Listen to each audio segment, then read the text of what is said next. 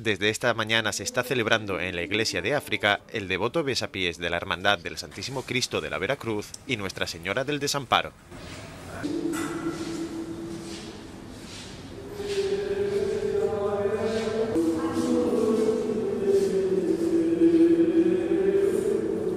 A la cita acudió el presidente de la ciudad, Juan Vivas, quien no dudó en participar en el acto.